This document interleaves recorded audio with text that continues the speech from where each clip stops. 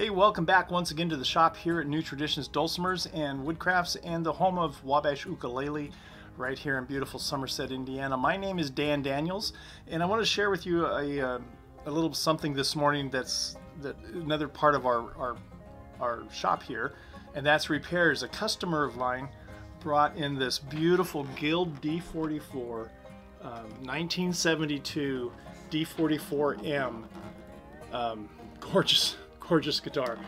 Uh, serial number 63762, built in 1972. He's concerned about the action, and rightly so. He wanted us to do a neck reset, and we agreed to do that. We've done dozens of neck resets. It's not that big of a deal, but um, after investigating and looking at the problem and going through and, and checking the geometry of this joint and the soundboard, I've kind of determined that it's not a neck reset that's needed. I did some more checking and, and found that this plane here is good and flat, uh, but down here at the bridge, you start to have a belly bulge, which is, you know, the midlife belly bulge. Any, any of us that were around in 1972 uh, probably have the same thing. So I've determined that what we need to do is, is to take care of this problem down here, um, and that should eliminate the action. So how we'll do that is I'll take the bridge off, and the bridge has been replaced before, and um, there's there's a lot of space under the between the bridge and the soundboard back here. So we'll just put a hot spatula in there, and the bridge will come right off. We'll introduce heat to the um, bridge plate, which is underneath the soundboard, and we'll introduce heat to the soundboard as well, and that will loosen the glue it should be hide glue that will loosen the glue on the bridge plate and allow the, the wood to shift. And then once that glue is loosened, we'll take the heat away and clamp everything flat. And that will take care of this belly bulge. Now what the belly bulge does is it cants the saddle this way, throwing off your intonation and your action. Once that's done, um, this, this will be flat up here. We'll go ahead and, and do some uh, minor work on the bridge uh, to help with the action setting, put the bridge back on, and we should be in good shape. And Eric will be playing this guitar once again.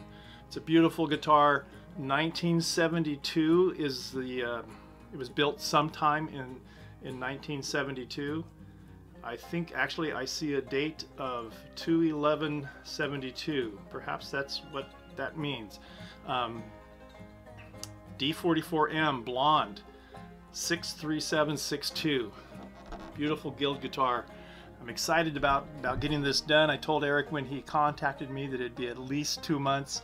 I've got uh, three or three ukuleles that need to be done by Christmas. I've got two dulcimers that need to be done by Christmas. I've got several Native American style flutes that have been ordered. A bunch of our wood crafts for, for Christmas uh, time, Christmas shopping and Christmas gifts.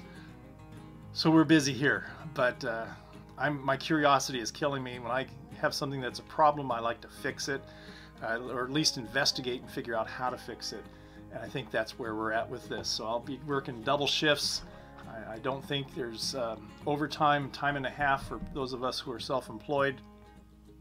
But um, that's what I'm going to be doing, and uh, we'll, we'll get this guitar shaped uh, in good shape real soon.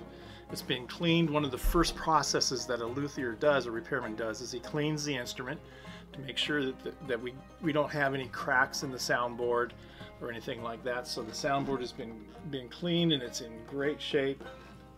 The back and sides are clean and they're in great shape and the neck has been cleaned. Uh, probably needs another cleaning, but it's in great shape as well. So there you go.